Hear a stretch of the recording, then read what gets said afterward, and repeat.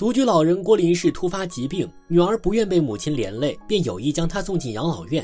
在等待空床的这段时间，老人轮流住进了儿女家里。震耳欲聋的锣鼓声忙着送别亡人，也昭示着村中又一位老人的逝去。林老太太木然地坐在喜丧现场。仪式结束后，她和往常一样来到家中的小祠堂，虔诚地跪在菩萨面前为子孙们祈福。老太太早年丧夫，她独自一人养大六个孩子。如今孩子们都已经纷纷成家立业，只剩她独自居住在老宅里。转眼她已是耄耋之年，身体每况愈下。前不久因为突发性脑血栓住院，女儿们反应迅速，立即开始为她寻找养老院。城市里的养老院花销巨大，几个子女都不能承受。二儿子便想将母亲送进村中的廉价养老院，这里的老人都被安排在一排平房内，屋里的墙面脏乱破败，屋内勉强收拾的还算干净。院长告诉二儿子，现在院内床位紧张，只能等那位病重的胡老太太去世以后腾出空位。于是，在院长的指引下，预定了那张床位。老太太并不想去养老院，她想留在老宅里生活，这样偶尔还能去看望孩子们。二儿子和三儿子心中对赡养的开销都有所顾虑，因为要照顾她，三家人都没有办法正常生活。但毕竟是自己的母亲，没办法置之不理。村里有过先例，一个独居的疯老太太死后不知道过了多久才被村民发现，所以即使老人家不同意，他们也坚持要送她去。反正现在定金已经付了，她没有别的选择。于是，在儿子们的言语轰炸下，她无言反驳，只能选择默默接受。同村的二奶奶是李老太太的妯娌，和她一样是独居老人。二奶奶身体不好，想买药治病，可儿子一分钱都不给她，她便只能来找嫂子借钱。林老太太不忍看她流泪的样子，起身便从破旧的手帕里拿出自己攒的钱，将钱悉数借给了对方。这一天和往常一样，她拜完菩萨，听完广播，洗漱完毕，拎着暖壶去打水的时候，一头栽倒在门口，摔伤了腿。二儿子又去养老院询问，可是情况依旧。这时老太太告诉几个儿女，自己想在每个人家里轮着住几天，去养老院的事情等他回来再说。几个人可能察觉自己做的有点过分，最终还是将他暂时留在了二儿子家中。老太太还没住进养老院，二儿子一家就已经开始打起了老宅的主意，想让他在离开之后把房子交给他们。老太太惦记远在外地的四儿子，还有父母都不在身边的孙子小道，希望能留下老宅，给他们一个落脚的地方。二儿子家的孩子小三在外打工，一年也没能给家里寄回几个钱。小三媳妇儿也想去外地挣钱养家。于是打算将孩子留下给婆婆照顾。桂花不想照顾老人的同时还要照顾孩子，两人闹得很不愉快。这天二儿子正在学校上课，老太太突然急急忙忙的来找他，告诉他小道不见了。就在这时，二儿子突然接到警察打来的电话，原来是小道偷了别人的电瓶车被逮捕了。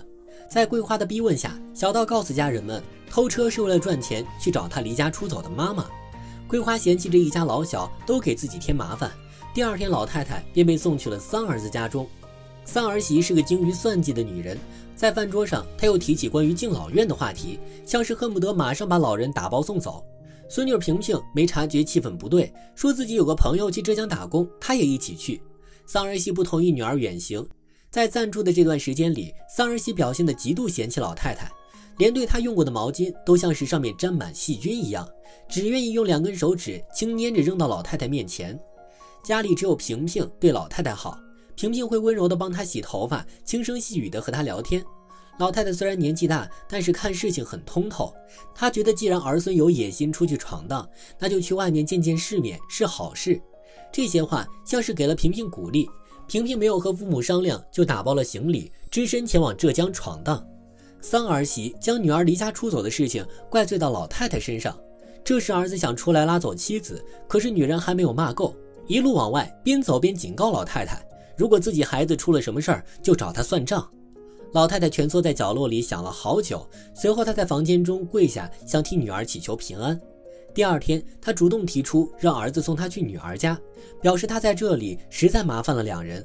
三儿媳知道她要走，也不客气，当面收拾她留下来的垃圾，并把她所有接触过的东西全部都用黑色塑料袋包起来送进垃圾箱。老太太带着行李原封不动的被送到小女儿家，女儿家中比起两个哥哥条件更加艰苦。为了支持儿子军团买车做生意，儿媳小娟将房子卖了，带着女儿圆圆暂住在公婆家中。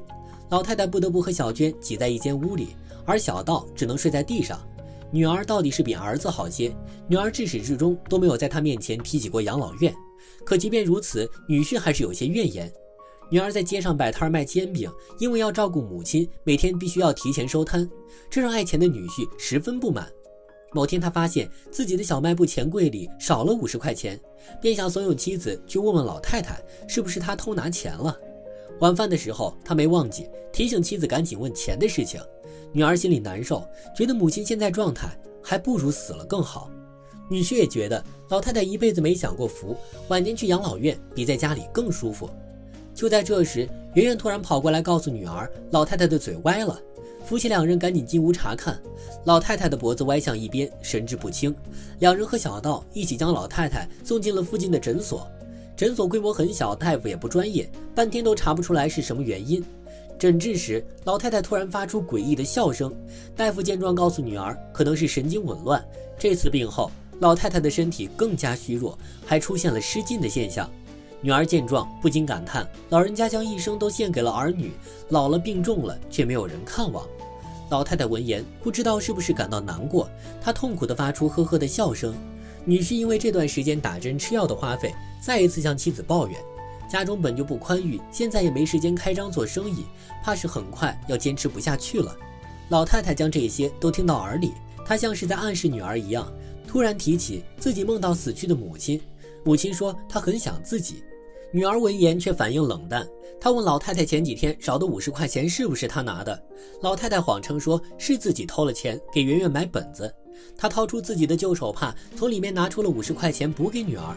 这天，女婿带着老太太上街，看见路边扔了一个黑包，他将包捡起来，旁边一个身穿黑衣的男子冲出来，感谢他捡到自己的包。随后，黑衣男把包递给另一个花衬衫男子，花衬衫一翻包，便告诉女婿，他包里原本的一千块钱不见了。女婿连忙喊冤，花衬衫和黑衣男子明显就是合伙碰瓷，他们抢了女婿身上的钱，大摇大摆的离开。女儿这下也忍不住了，主动去找到哥哥家，想询问养老院的情况。得知胡老太太的床位没空出来，女儿便想让二哥将母亲接回去。可是二嫂桂花却不客气，她认为老太太在谁家生的病，就该由谁照顾。两人越吵越激烈，三儿媳妇儿也想趁机要钱，反被桂花劈头盖脸一顿痛骂。因为说的话太过难听，三儿子忍不住上去打了桂花一巴掌。接着，所有人都走到门外，只留下桂花一个人在原地哭闹。与此同时，军团老板也带来了他的死讯：因为酒后驾车出了事故，公司赔了一笔钱给夫妻两人。众人陷入浓重的悲伤中，老太太也在这时决定离开。见过孩子们，心愿了了，就该走了。他将自己母亲留下的手镯交给小娟，他担心小娟一个人带孩子辛苦，便劝她趁着年轻尽早改嫁。交代完所有事情，老太太忍不住告诉女儿，自己害怕以后再也见不到他们。于是兜兜转转，她又回到了二儿子家。在家门口，她抱着小道，哭得像个孩子。最终，小道只留下一句会再来看望，便挣脱了他的手。桂花因为老太太的病愈发不待见他，只要老太太发病，他就会冲过来一顿辱骂。老太太便开始每天盼望着养老院来信。既然已经顺着儿媳妇的心愿做好离开的打算，桂花依旧没有改变嚣张的态度。儿子因为妻子无休止的争吵，一怒之下砸碎了母亲一直带在身边的观音像。夫妻俩受不了老太太不时发出的诡异笑声，决定将她的床褥搬进牛棚。牛棚里阴冷潮湿，四面都是透窗的小风，老太太就在这里与畜生共眠。这天，儿子久违的主动来找母亲，告诉她关于二奶奶的死讯。这时，儿子突然问起他自己小时候的样子。老太太捧着儿子的手，将他小时候的趣事娓娓道来。深夜里，烛光只能堪堪照亮屋里一隅。老太太在黑暗中跪拜着破碎的观音像，替孩子们祈福。第二天清晨，老太太已经浑身冰冷地躺在牛棚里。来接她的养老院工作人员将她送进火葬场。此时，她身边没有一个孩子来送行，坟尸间的墙壁上和尸体上盖的床单一样苍白又肃穆，整个空间只有火焰狂舞的声音，如烈阳一般的火焰将吞噬老人的身体，将一个生命化为灰烬。儿女们为老太太办了喜丧，大儿子和儿媳妇儿却依旧没有从外地赶回来。只是在得知母亲死后寄了些钱。村民们在村中搭起舞台，穿着清凉的女人和上了岁数的大爷，伴随着刺耳的音乐，以极其放荡的姿态在舞台上扭动着。儿女们在隔日安葬了老太太。灰暗的天空下，树林间乌鸦不断的嘶哑歌唱，像是为路边又添的新坟哀叹。不久之后，女婿在钱柜之下发现了那丢失的五十块钱，同时小道也攒够了钱，准备去上海找母亲。而嚣张跋扈的二媳妇桂花，在一次做完家务之后，因脑血栓发作倒在了屋里。由张涛导演的剧情片电影《喜丧》于二零一五年出品，导演张涛凭借这部影片斩获第十届 FIRST 青年电影展最佳剧情长片和最佳导演两项大奖。电影本身拍摄手法比起一般电影，更像是一部讲述现实故事的纪录片，记录了当代农村老人的生活现状。儿女都外出打工，留在身边也是忙于自己的生活，无暇照顾老人，然后在空空的房间里独自一人孤独的死去。这是很多经历过农村生活的人每天都能看到过的事情。故事中儿女的不孝，儿媳的跋扈固然可憎，但是更可恨的是，所有人都把这件事当作是一件正常不过的小事，每个人都冷漠地注视着不幸的老人，任由他最后沦落到在牛棚孤独的死去。养儿防老是个千古悖论，但尊老爱幼不是。对于抚养自己长大的母亲，是如何能做到这样的冷酷？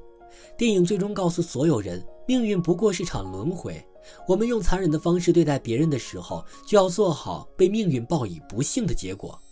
开头与结尾的喜丧，还有老人倒地和结局桂花倒地的场景，都在预示着喜丧的悲剧还在不断上演。